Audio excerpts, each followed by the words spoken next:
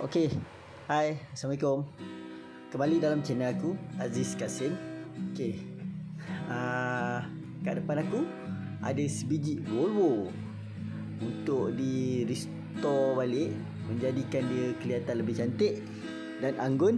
uh, okeylah. Uh, aku akan tunjuk kat korang macam mana terjadinya kejadian dia. Ha, daripada dengan keadaan sekarang akan berubah menjadi lebih mantap. Okey. Jom kita saksikan.